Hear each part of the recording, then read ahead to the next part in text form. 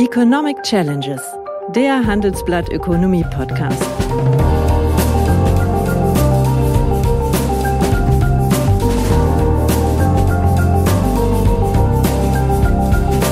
Bert Rürup, der Chefökonom des Handelsblatts, diskutiert mit Michael Hüter, dem Direktor des Instituts der deutschen Wirtschaft, wöchentlich aktuelle wirtschaftliche Herausforderungen. Für Deutschland wie für die Weltwirtschaft. Ja, guten Tag, meine Damen und Herren. Hallo, lieber Michael. Hallo, lieber Bert. Heute möchte ich mit dir eine auf den ersten Blick ganz simple Frage diskutieren, nämlich die Frage, wer trägt eigentlich die mit dem ökologischen Umbau verbundenen immensen, ich sag's mal, Kosten dieser Transformation? Nämlich oft wird ja behauptet, dass diese unbestritten hohen Kosten für Unternehmen und Haushalte auf dem Weg zur Klimawandel, egal ob man das mit 2045 oder 2050 rechnet, dadurch tragbar sein, wenn man die, ja, gewährten staatlichen Mithilfen und das dadurch induzierte gesamtwirtschaftliche Wachstum gegenrechnen würde.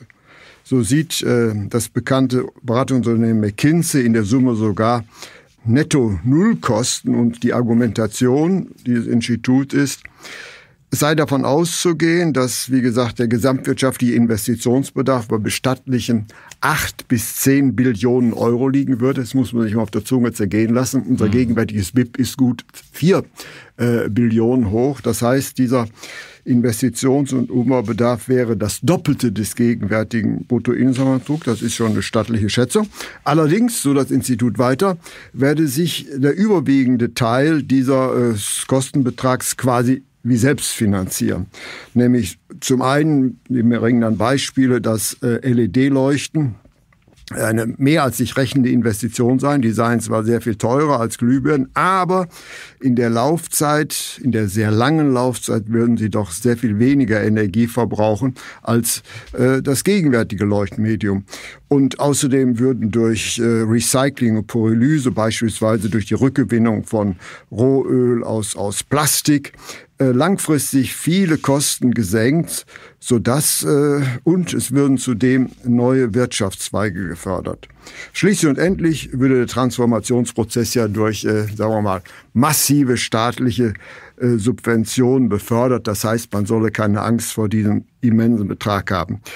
Äh, ich kann mich nicht ganz des Eindrucks erwehren, aber ich hoffe, du wirst mich belehren, dass das so ein bisschen ein, ein Münchhausen-Trick ist. Nämlich, wir dürfen natürlich nicht übersehen, dass äh, jede staatliche Umbauförderung aus dem laufenden Bruttoinlandsprodukt finanziert so werden muss. Die kommt ja nicht vom Himmel und wird deswegen letztlich, man kann es drehen und wenden, wie man will, von Unternehmen und Verbrauchern getragen. Deswegen meine simple, aber brutale Frage, ist das Argument von der Selbstfinanzierung und Wachstumsförderung des ökologischen Umbaus vielleicht nicht nur eine Art Taschenspielertrick? Ich würde dir nicht widersprechen wollen, ja. um es sehr zurückhaltend zu formulieren.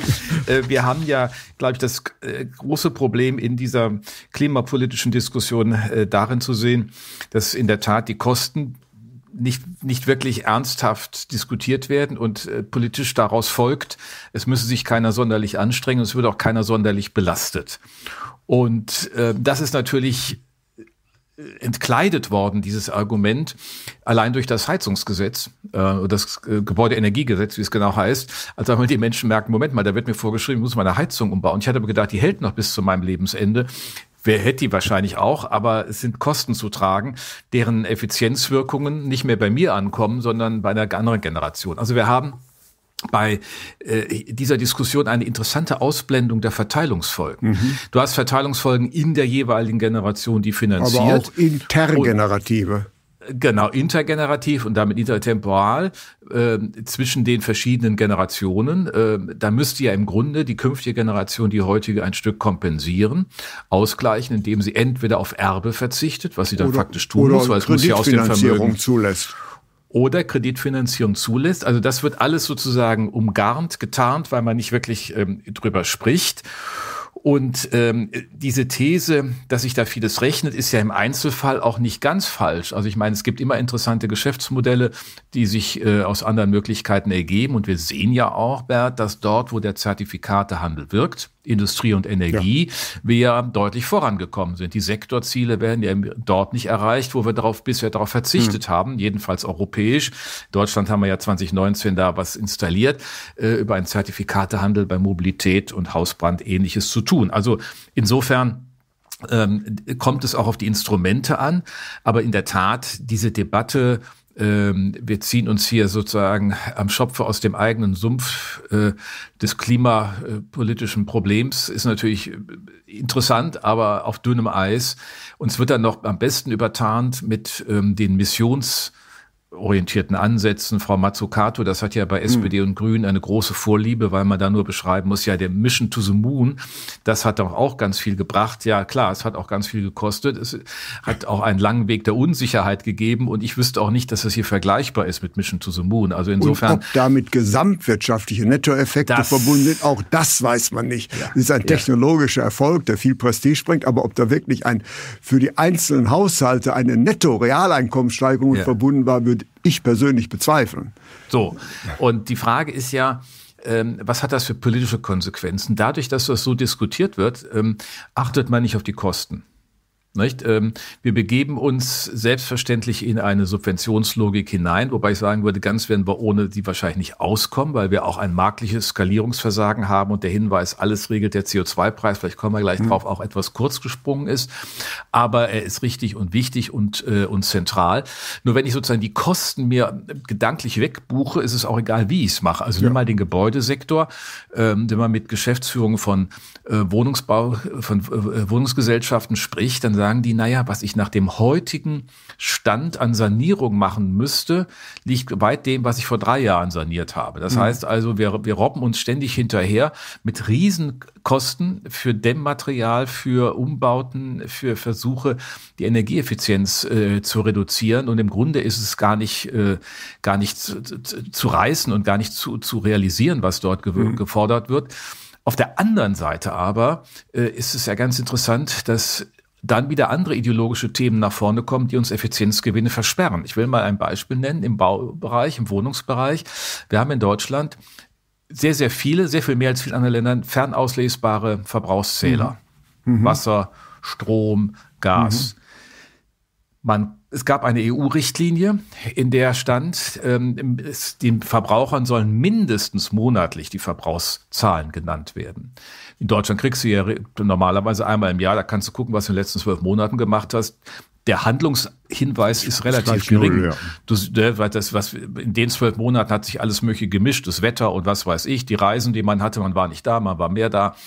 Ähm, in Deutschland hat dann auf Betrieben Beschreiben des Bundeswirtschaftsministeriums äh, ein Gesetzentwurf dieses europäische, die europäischen Vorgaben äh, umgesetzt, aber das mindestens rausgenommen.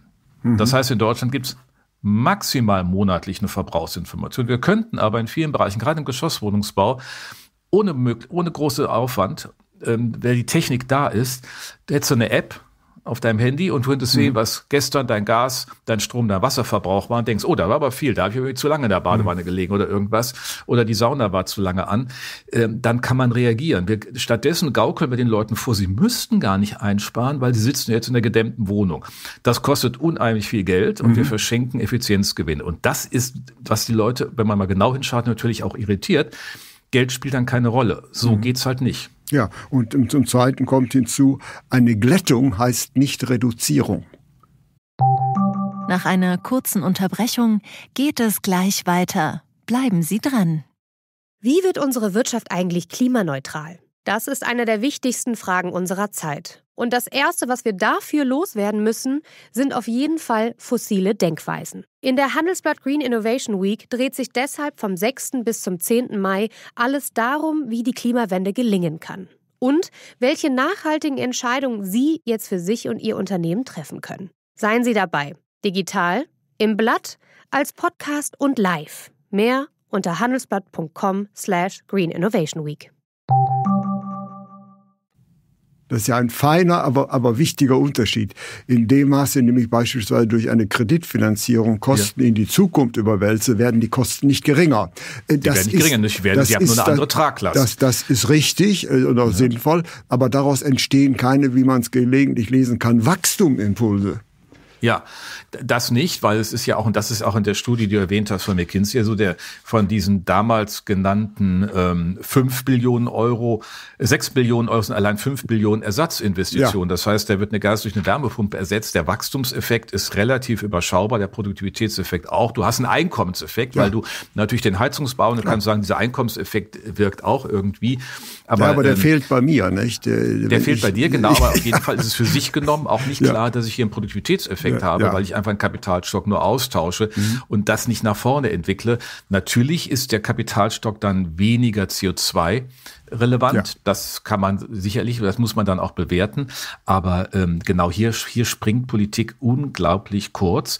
Und die, das Problem, was wir ja haben, ist, Bert, seit dem Urteil des Verfassungsgerichts im November, jetzt müssen sie das Geld zurückschneiden, weil sie nicht so viel mhm. haben aber es fehlen ihnen die Prioritäten und die strategischen Festlegungen für diese industriepolitischen Aktionen. Natürlich brauche ich, wenn ich die Wasserstoffwirtschaft hochfahre, ein bisschen mehr als den, als den CO2-Preis. Da muss man Anschub geben, dass auch der Beirat beim Bundeswirtschaftsministerium sagt, über Leitmärkte auf der einen Seite, man redet über Carbon Contracts for Difference auf der anderen Seite. Jedenfalls ist schon nicht ganz verkehrt zu sagen, wenn ich solchen Umbau mache, brauche ich an bestimmten Stellen auch eine zusätzliche ja. staatliche Unterstützung. Ja. Das ist aber alles nicht priorisiert worden. Ähm, und äh, das, was die Politik ja auch nicht aushält, ist, wenn der Preis steigt, ist gleich wieder Drama äh, dann muss man den Leuten, dann wird aber die Wahrheit dieser Klimapolitik sichtbar, die auch ertragen werden muss, wenn wir das wollen. Und wir wollen das ja, äh, dass man auch dafür zahlen muss. Und dann stellt man fest, dass die Belastungen natürlich auch regional und damit auch sozial sehr unterschiedlich sind. Nicht? Ich meine, nimm doch mal äh, hier in den neuen Bundesländern, wo ich jetzt wohne seit geraumer Zeit, hier hast du viel äh, Mobilität allein zum, zum, beruflich bedingt, weil der Nahverkehr hier zwar nicht schlecht, aber auch nicht so flächendeckend ist wie in den Metropolräumen. Das heißt, die Leute, die für Mobilität mehr zahlen müssen, sind hier ganz besonders relevant, werden hier getroffen. Gleichzeitig ähm, haben, sind das hier natürlich auch Heizungsanlagen vielfach. Auch wenn es in den 90er Jahren gemacht wurde, ist das gasbasiert. Und die Frage ist, wie baut man das jetzt um? Wer trägt die Kosten? Mhm. Und äh, die Politik sagt dazu ja nicht die Wahrheit. Es wird ja immer nur erzählt, das, boah, machen wir schon, wird dich jetzt nicht weiter betreffen. Und insofern war dieses Heizungsgesetz ja ein Stück lehrsam auch. Ja, und aber auch das Argument ist, wir machen so viele Subventionen, das ist natürlich alles richtig, aber das ist eben angesprochen worden. Die Kosten des Umbaus, die realen Kosten des Umbaus müssen die gegenwärtigen Generationen tragen. Gewinner sind die zukünftigen Generationen. Die nicht mehr zahlen müssen. Die nicht mehr zahlen müssen. Wenn das der Fall ist, glaube ich, müsste man doch vor, allein vor diesem Hintergrund Schuldenbremse hin und Schuldenbremse her äh, mal diskutieren, was ist denn die richtige Form der Finanzierung dieses ökologischen Umbaus, wo es völlig klar ist, dass die Kosten jetzt und die Benefits in der Zukunft anfallen. Aber diese offene Debatte wird nicht geführt und auch nicht von den Verfechtern der Schuldenbremse. Aber genau das ist ja letztlich ein zentrales Argument. Äh, wenn man fragen würde, wenn wir die Klimawandel jetzt wollen, wie finanzieren wir sie richtig? Das wird ausgeblendet, diese intertemporalen Verteilungswirkungen. Ja, das wird ausgeblendet, weil wir haben sie. Ja. Ähm, äh, aber es wird sozusagen getan, als würden sie erst durch die Schuldenbremse oder durch, durch eine Kreditfinanzierung und eine Reform der Schuldenbremse entstehen. entstehen. Das, das konnte man Quatsch, ja wieder ja. auf dem Parteitag der ja. FDP erleben, wo sie sich da in einer Weise fest betoniert, wo man sagt, das ist eigentlich nicht zukunftsfähig. Es geht ja nicht darum, das Geld sonst wohin zu buchen, aber das ist eine Generation, aus dem Steuersäckel alleine kann oder zwei Generationen aus dem Steuersäckel allein ist jedenfalls relativ unwahrscheinlich. Das heißt, Überforderungsphänomene, die dann eintreten, sind groß. Insofern muss genau dieser intertemporale Gesichtspunkt rein. Und da muss man auch fragen, was gehört denn dahin? Und dann ist natürlich berechtigterweise am Anfang zu diskutieren, was muss denn wirklich ausgegeben werden? Also mein Beispiel eben beim Wohnungsbau. Äh, man kann ja vieles dämmen, aber es ist mhm. so teuer und wenn ich da wieder der nächsten Verordnung hinterherlaufe, dann ist doch Verhaltenssteuerung über Preise und in Preisinformationen und Kosten, die ich verursache, viel wichtiger. Und das wird mit einer Nonchalance weggebucht, weil es den Datenschutzüberlegungen äh, eines anderen läuft. Referats im Bundeswirtschaftsministerium widerspricht und man dann so tut, als sei das jetzt also geradezu unerhört, dass man dieses Thema aufwirft. Die sind einfach nicht konsistent. Und das macht die Politik im Augenblick natürlich auch schwierig, schwierig in der Vermittlung, aber auch in dem Handeln der drei Koalitionsparteien miteinander. Wir haben ja mal vor einiger Zeit schon gesagt, die haben kein passendes gemeinsames wie sagt man so schön, Narrativ zur Klimapolitik. Und äh, die, die FDP sagt im Grunde, naja, das machen wir mit ein paar, paar Preissignalen und der Rest organisiert sich nach technischem Fortschritt. Aber wir haben natürlich trotzdem immer dann Verteilungswirkungen und die kann ich nicht wegbuchen.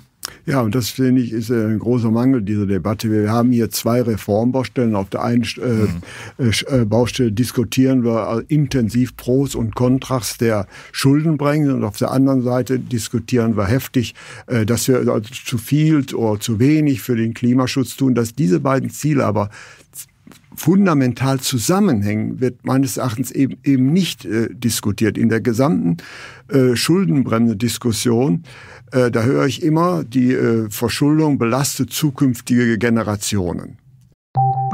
Nach einer kurzen Unterbrechung geht es gleich weiter. Bleiben Sie dran. ChatGPT und andere Technologien verändern unsere Arbeitswelt rasant. Bei der Veranstaltung Work in Progress diskutieren wir in der Handelsblatt Media Group die Zukunft des Arbeitsmarktes, HR-Trends, KI, mentale Gesundheit und neue Leadership-Perspektiven. Sei am 13. und 14. Juni in Düsseldorf oder virtuell dabei und melde dich jetzt an unter work-progress.de. Äh, das ist richtig, aber man muss man doch fragen, wofür werden die dann ausgegeben? Ja. Und der Klimawandel wird ja nicht für die gegenwärtige Generation gemacht, sondern ja. für die zukünftige Generation, ist zudem noch verbunden mit dem großen Risiko des Scheiterns, weil mhm. es nämlich vielleicht einige Staaten gibt, die dieses Spiel nicht mitmachen. Dann äh, bringen wir große reale Investitionen, die mit realen Kosten verbunden sind, auf den Weg. Wenn aber die entscheidenden Player, die CO2-Emittenten, äh, nicht mitmachen, dann haben wir hier äh, ja eine Loser-Position. Dies umso mehr, weil unsere Klimapolitik ist ja nicht technologieoffen. Man hätte ja auch eine technologieoffene Klimapolitik machen können, wo man nur die ökologischen Ziele, aber nicht den Weg dahin äh, thematisiert. Und dann hätte man natürlich die Möglichkeit gehabt, äh, Klimatechnologien zu entwickeln, die man, wie es sich für ein Exportland gehört, exportieren könnte. Aber genau mhm. dieser Weg ist eigentlich nicht beschritten worden. Nämlich andere Länder gehen diesen Weg, die sehr viel kleiner sind als Deutschland, aber sie sagen, es ist wichtig, dass wir es fürs Klima machen, aber wir müssen auch die eigene Nationalökonomie mit berücksichtigen. Und dieser Aspekt ist meines Erachtens ausgeblendet worden. Der ist, ja, äh, sagen wir mal so, der Zertifikatehandel an sich ist natürlich technologieoffen. Das ist ja, ja der große richtig. Vorteil. Das ja. hat er im Bereich der Industrie und Energie ja auch bewiesen. Er hat natürlich auch lange irritiert, weil die Preise so niedrig waren. Ja. Man hat das Mengengerüst war nicht ausgeschöpft. Das wird zielplanmäßig runtergefahren. Schon äh, 2009 2035 gibt es dann ja keine Zertifikate mehr. Also insofern ist das bei der Industrie ja genau dieser Prozess, wo wir dann auch auf die Preissignale, auf die Verteuerung des CO2-Ausstoßes äh, eine ja. Reaktion im Investitionsverhalten erleben. Und da wird auch alles Mögliche gemacht. Und da ist die Findigkeit auch groß. Nur wir haben uns im Grunde den Luxus geleistet, mehr oder weniger, äh, ich sag mal, 30 äh, Jahre nur auf diesen Bereich und nur die Industrie und nur den Bereich der Energieproduktion zu schauen, während die anderen Themen ähm, vernachlässigt wurden und jetzt sozusagen nachgeholt werden müssen. Auch der Unsinn im Grunde, das muss man ja auch nochmal sagen, bei dem Klimagesetz 2021 das fünf Jahre vorzuziehen. Das habe ich auch schon mal, ja. das auch von 2050 auf 2045. Die letzten fünf Jahre sind ohne die Schauf Schaufensterpolitik. Ja, aber es ist, ist verteuert, es wird ja. unheimlich viel enger. Äh, fünf Jahre weniger Zeit zu haben, verteuert den gesamten ja, Prozess. Verkürzt den, Frage, verkürzt den Amortisationszeitraum. Ja, und, und stellt natürlich die Frage auch, die du äh, berechtigt aufrufst, wie man es eigentlich finanziert, noch, noch mehr. Und was mich, was ich auch finde, was zu wenig wirklich gemacht wird, und das ist ja ein offenes Ring, weil es nicht ganz einfach zu systematisieren ist. Was brauche ich? Zusätzlich zur CO2-Preissteuerung über Zertifikatehandel denn dann noch? Mhm. Und ich glaube, man muss einfach zwei Dinge sehen. Weltweit sind nur etwa 22 Prozent der CO2-Emissionen überhaupt bepreist. Das heißt, ich habe also eine völlige Verzerrung im Wettbewerb und das über beispielsweise einen äh, Grenzausgleichsmechanismus, ein sogenanntes CBAM, Carbon Border Adjustment Mechanism, zu korrigieren ist natürlich hochbürokratisch. Ich muss ja im Grunde über die Wertschöpfungskette eines Produkts, das an der Grenze ankommt, identifizieren, wie viel nicht Bepreisung von CO2, ja. wie viel quasi Begünstigung von ja. äh, einer anderen Klimapolitik steckt da drin und das versuche ich dann zu kompensieren. Ich halte das ehrlich gesagt für nicht umsetzbar. So interessant ja die Idee des Klimaclubs ist, das ist ja gar keine Frage, aber die Außengrenzenabsicherung ist einfach hochkomplex. Mhm. Und das Zweite ist, ähm, was der CO2-Preis natürlich eigentlich unterstellt, es ist eine inkrementelle Steuerung. Nicht wahr? Irgendwann reiche ich einen Kippung, dann fängt er an zu investieren. Da lohnt es sich dann auch, mhm. die alte Gasheizung zu ersetzen. Trotzdem muss es ja dann gemacht werden. Trotzdem werden wir da nicht ohne Subventionen für die privaten Haushalte mhm. oder Abfederung, Stichwort Klimageld, mhm. irgendwie hinkommen, weil wir gerade die geringen Einkommen Einkommensbezieher oder Geringeinkommensbezieher besonders belasten. Aber die 0-1-Investitionsentscheidung, also beim Stahl, in Chemie, im ja. Papier, in Ernährung, Glas, umzustellen auf beispielsweise wasserstoffbasierte Energieproduktion, ist keine, die ich ohne marktintervenierende Maßnahmen hinkriege. Das heißt, da muss ich halt auch mehr tun. Und das systematisch mal zu beleuchten, wird viel zu wenig getan. Insofern enden die einen Kollegen von uns immer mit dem Hinweis, ja, ja, es ist äh, der CO2-Preis sollte mehr genutzt werden, der Rest wird sich schon ergeben. Und die anderen äh, kommen mit den ganz großen Subventionstöpfen. Oder denn das mhm. ist ja das, was man liest, wenn man jetzt die fünf Billionen oder sechs Billionen Euro nimmt, fragt man sich, wer soll das eigentlich bezahlen? Und äh, selbst dann reichen die Subventionen nicht, wenn man im Baubereich, in Wohnungswirtschaft reinschaut das, was gefordert wird, äh, kann durch die Unterstützung gar nicht geleistet werden. Aber die Umlage der Sanierungskosten auf die Mieterinnen und Mieter. Mhm. Ist ja politisch auch nicht gewollt. Ähm, und insofern äh, hängen wir hier wirklich in, einer, in einem Dilemma. Äh, und diese Regierung ist halt gestartet, das müssen wir noch mal erinnern, mit einer Geschäftsgrundlage, die sie nicht mehr hat, nämlich mit einer Lösung von, von Milliardenumbuchungen in den Klima- und Transformationsfonds das, ich will das Urteil des Verfassungsgerichts nicht schönreden, aber äh, sozusagen, das ist nicht aufgearbeitet. Man tut so, und das ist, was ja auch der Regierung vorzuwerfen ist, man tut so, als sei das sozusagen äh, genauso schön wie vorher. Ist es ja, Sie brauchen ja nur noch anderthalb Jahre ungefähr, um das rettende Ufer erreichen, zu erreichen. ja, ja gut, aber an dem rettenden Ufer wird ja keiner von denen mehr Nahrung finden. Richtig, gut. Äh, jedenfalls Nahrung, die die Wähler ihnen bereitstellen, davon ist ja wohl auszugehen.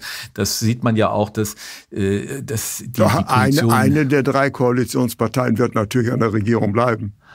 Ja, klar, eine schon, aber ich sag mal, das, das Gesamtpaket nicht. Ne? Also das, diese Struktur wird mit Sicherheit, also nach dem, was wir heute sehen, jedenfalls keine Geschichte der Zukunft sein.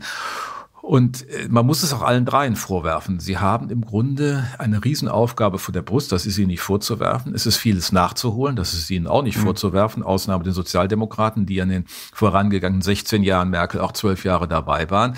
Aber nach vorne betrachtet haben sie nicht wirklich intellektuell durchdrungen, was sie tun müssen und haben das nebeneinander gestellt mhm. und haben das sozusagen fiskalisch abgesegnet mit dieser hm. Umbuchung aus den äh, Corona-Krediten in den Klima- und Transformationsfonds. Und man hätte ja im Grunde den November letzten Jahres zum Restart nehmen können. Man hätte eigentlich das neu schreiben müssen. Wäre ja auch keine Zumutung gewesen, aber das, was jetzt passiert, und wir haben letzte Woche darüber gesprochen, die Stimmung ist schlecht, man nöckelt gegenseitig aneinander rum in der Regierung, die Regierung an der Wirtschaft, die Wirtschaft an der Regierung das ist auch keine besonders erbauliche Situation, von deren Ausweg jetzt nicht groß zu sehen. Ich meine, Wirtschaftswende, äh, wir haben letzte Woche über die zwölf mhm. Punkte gesprochen der FDP. Na Gott, ja. Ja, nett. Viel, viel, viel Wind, wenig Wende, ne? Ja. Ja, ja jetzt äh, eine, eine letzte Frage. Jetzt äh, weise ich dir mal einen unangenehmen Job zu. Ach nee, komm. Doch, doch, doch.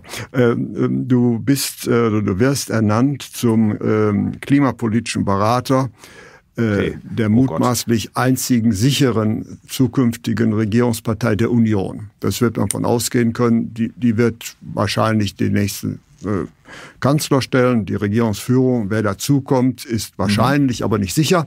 Aber das wird der Fall. Und äh, du müsstest jetzt in den noch verbleibenden, wie viele Monaten haben wir noch? So 16, 16 Monate etwa bis, bis zur Wahl was könnte man dann heute gedanklich auf den Weg bringen, um, sagen wir mal, diese falsche oder zumindest unzulängliche Weichenstellung ein Stück weit zu korrigieren? Was mhm. wäre dein Drei-Punkte-Plan? Ich glaube, man muss so ein Paket schnüren, wo man deutlich macht, man fängt dann nochmal neu an. Und nicht indem man die Dinge in Frage stellt, mhm. aber sie realistisch zu justieren. Ich glaube, erstens gehört dazu, dass das Jahr 2045 unrealistisch ist. Zur Mitte des Jahrzehnts äh, müssen wir das erreichen. Das sagen auch die Klimaforscher. Also diese fünf Jahre würde ich erstmal gönnen. Ich würde das ändern. Ich würde deutlich machen, wie man es machen will. Denn ich das Zertifikatehandel zwei für Wohnen und Verkehr muss europäisiert werden, damit wir hier äh, äh für Wohnen und Verkehr, damit das hier ähm, europäisch angemessen funktioniert. Und dann muss ich eine Finanzierungslogik aufbauen unter dem Stichwort der Generationenbeteiligung. Äh, die Generationen, die betroffen sind, müssen doch alle beteiligt werden. Es kann nicht alle Generation Generationen, aus dem Sektor, nicht alle die, Generationen, auch die zukünftigen. So, und ich würde, weil die, kann man immer sagen, dann lassen wir halt die Schuldenbremse, wie sie ist, aber ich würde hier ganz bloß neu aufsetzen, einen Transformationsinfrastrukturfonds, der Bund, Länder und Kommunalinvestitionen in den Blick nimmt und ähm, auch die möglicherweise Zuschüsse, aber das muss man sich anschauen und dann über einen längeren Zeitraum von zehn Jahren das aufsetzt. Der muss gut auf, äh, verfassungsrechtlich unterlegt werden. Wir haben das ja gelernt beim Bundeswehr-Sondervermögen.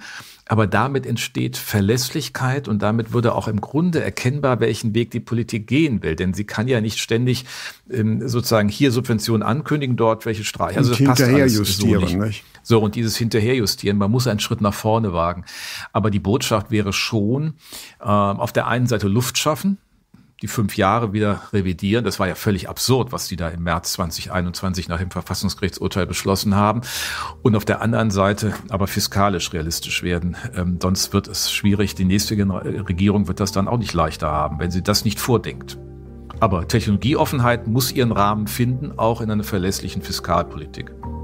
Ja, ich hoffe, dass wir auch im nächsten Jahr weiter äh, diskutieren. Dann werden wir eine unserer ersten Sitzungen darüber machen, ob da eine wirklich äh, meines mich zumindest überzeugenden äh, ja, ökologischen Vorschläge Eingang in das äh, nächste Regierungsprogramm haben.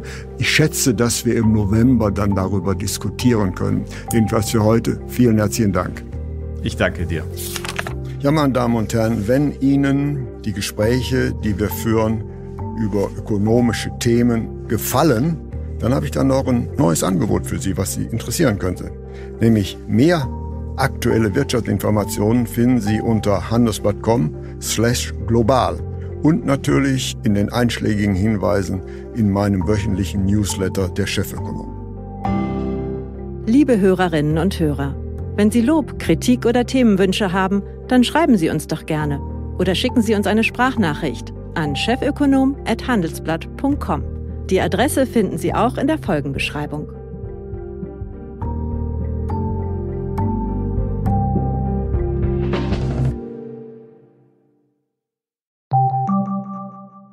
Wie navigieren Deutschlands Top-Vorständinnen durch die aktuell schwierigen Zeiten?